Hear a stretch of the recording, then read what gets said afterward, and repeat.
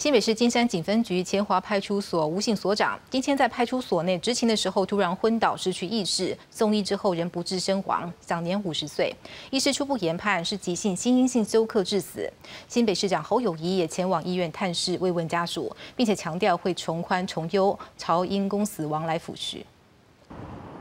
又传出远警猝死意外，新北市警察局金山分局前华派出所吴姓所长，二十一号上午大约十一点半，在派出所内执勤时突然昏倒，失去意识，在场远警立即拨打一一九，经送往台大医院金山分院急救后，仍然不治死亡，享年五十岁。医师初步研判是急性心因性休克致死。忽然之间哦晕倒，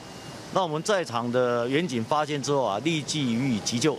并打一一九哦，派救护车及救护人员到场来做一个急救的一个动作。警方表示，吴姓所长在金山分局服务二十多年，曾在辖区内多个派出所任职，经常在过年过节时慰问孤独老人及弱势，平时表现相当优异，也没有听说有心脏或其他慢性疾病。今年七月才调任现职，没想到传出意外，同仁们都很不舍。而新北市长侯友谊也特地前往医院探视，并慰问家属。经过医生的判判断，是因为心肌梗塞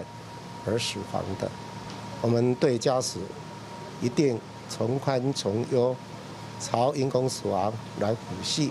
侯友谊表示，将依照家属意愿，将遗体移往板桥，由警察局协助处理后事。而警方也强调，前华派出所是偏远的派出所，业务量不像市区派出所，而且所长排班是自己安排，并无所谓过劳的问题。记者综合报道。